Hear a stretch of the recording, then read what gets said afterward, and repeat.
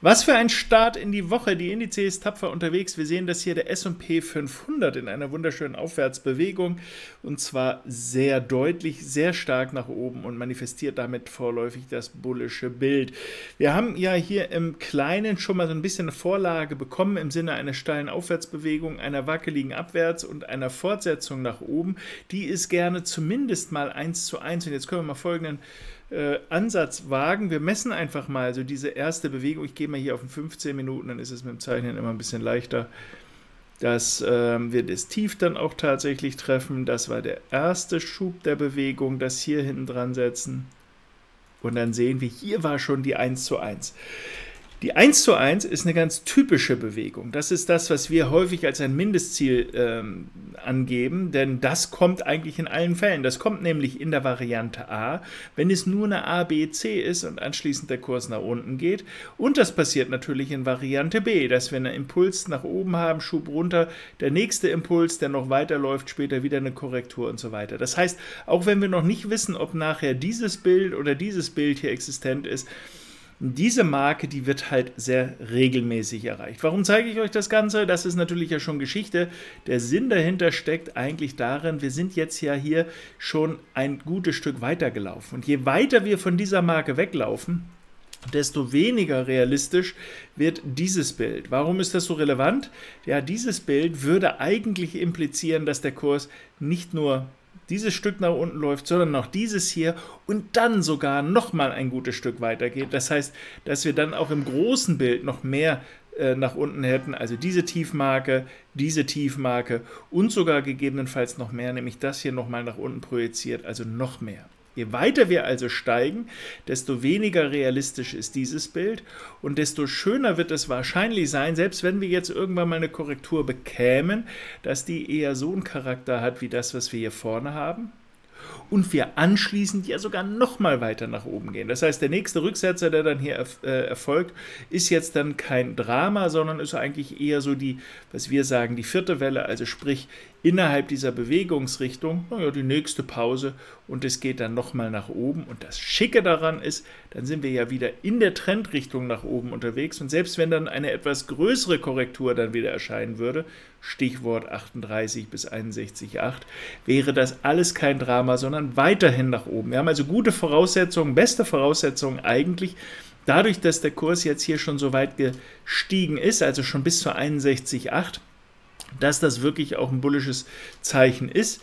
Also für all diejenigen, die natürlich nachvollziehbarerweise sagen, ja, man sieht das dann immer erst im Nachhinein. Ja, das stößt allerdings jetzt hier schon beide Türchen auf, sozusagen beide Türflügelchen auf für die nächste äh, Aufwärtsbewegung nach der nächsten hoffentlich dann kleinen Korrektur. Wie groß ist so eine kleine Korrektur? Man kann sich ja ein bisschen an dieser hier orientieren ich kann noch nicht sagen, ob das das Hoch hier bleibt. Aber wenn, nehmen wir mal an, das ist das Hoch, dann kann man natürlich sagen, hier komm, das ist hier eine Abwärtsbewegung, die so groß war in etwa. Und jetzt können wir sagen, nehmen wir mal an, es bliebe bei dem Hoch. Bitte, das ist jetzt keine Vorhersage, dass das das Hoch ist, aber nehmen wir mal an, es bliebe bei dem Hoch. Dann kann man sagen, eine ähnliche Größe wäre diese. Das heißt, solange wir Rücksetzer bekommen, die ähnlich groß ist, kann ein bisschen weniger sein, darf auch ein bisschen mehr, aber so im Umfeld dieser Bewegung haben wir eigentlich gute Voraussetzungen, dass das eben nur dann sowas wie die vierte Welle ist und anschließend der Kurs nochmal weiter nach oben. Das wäre ein Klassiker. Eine sogenannte No-Go-Linie wäre vorläufig, wenn diese Korrektur, die ich jetzt hier andeute, unter dieses Hoch hier gehen würde, bei 4414 in etwa.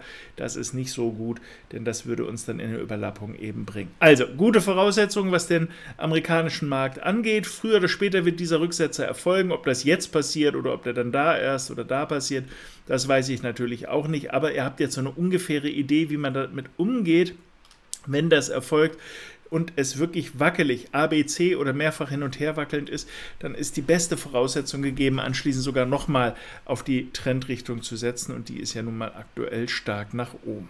Der Nasdaq macht es äh, ziemlich ähnlich, deshalb müssen wir den nicht genauso erklären. Das gleiche Prinzip auch hier mit der 1 zu 1 äh, Bewegung. Ihr seht, dass auch diese Bewegung, die wir hier vorne, ne, das ist völlig falsch, dass diese Bewegung, die wir hier vorne haben, hier hinten ja auf jeden Fall nochmal in gleicher Größe passiert ist, jetzt aber immer mehr steigt, also auch hier die Wahrscheinlichkeit, dass ein ähnlich großer Rücksetzer wie dieser hier eben die Fortsetzung nach oben mit sich bringt. Gute Voraussetzungen also auch an dieser Front. Und dann schließen wir das Ganze nochmal mit Window Jones. Da sieht es ebenfalls gut aus hier auf der Oberseite denn das Bild scheint hier recht deutlich jetzt zu sein, auch mit dem, was wir jetzt in den jüngsten Minuten hier gesehen äh, haben. Der DAX ist äh, ein bisschen anders erst unterwegs gewesen, da haben wir sogar eine Möglichkeit hier für den Weg nach unten gesehen. Guckt euch das ruhig mal an im Trade des Tages, da haben wir etwas vorgestellt dazu. Das sieht so aus, als ob das auf der Abwärtsseite nicht aufgehen sollte, sondern nachher dann auf der Aufwärtsseite. Deshalb ist es gut, manchmal zwei Varianten parat zu haben. Dann kann sich der Markt die schönere aussuchen. Manchmal kommt man rein in die eine, ach, dann läuft es erst in den Stop. Aber die andere Seite, bringt dann mehr Gewinn, als das andere Verlust gebracht hat.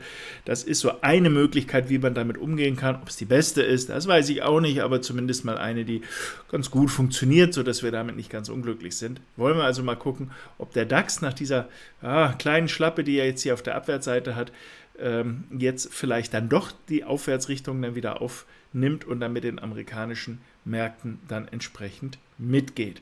Soweit das dazu. Mehr will ich an dieser Stelle jetzt gar nicht sagen, sonst wird dieses Video wieder so ellenlang. Trotz alledem, für all diejenigen, die noch mehr sehen wollen, ich werde gleich über Born for Trading noch das eine oder andere senden. Ansonsten wünsche ich euch jetzt erstmal einen wunderbaren Tag. Wir sehen uns äh, in Bälde wieder. Bis zum nächsten Beitrag. Macht's gut.